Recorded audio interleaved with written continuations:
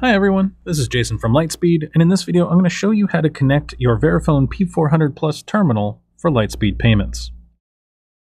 First you'll need to collect everything that came in the box. That includes a power cable, the terminal itself, an adapter cable, and an Ethernet cable that you'll want to connect to your router. Then, take the terminal and open the tab on the back of the terminal by pulling up and away from the rest of the terminal. Plug the adapter cable into the back of the terminal and replace the tab. Next, you'll want to take the power cable and plug that into the adapter cable.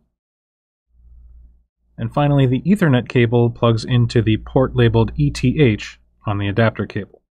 Then, plug in the power cable into a power source and the terminal will boot up automatically. If the terminal is plugged in and has power, it's on. There is no on or off switch for this terminal. Once the terminal has booted up, you'll need to pair it to your account. To do so, we'll click on Settings, followed by Payment Processing. Here we can see that Lightspeed Payments has already been added to this account.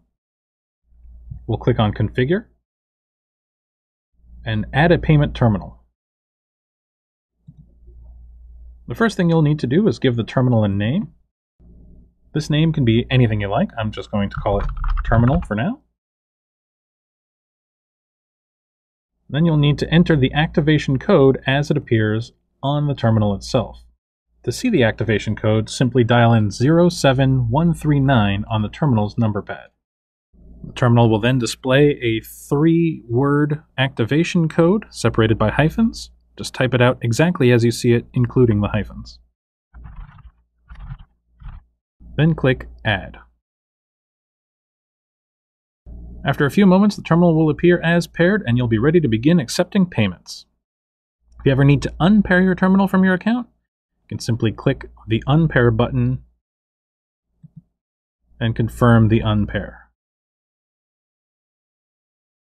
That concludes this video, and be sure to check out the Help Center for more information and videos.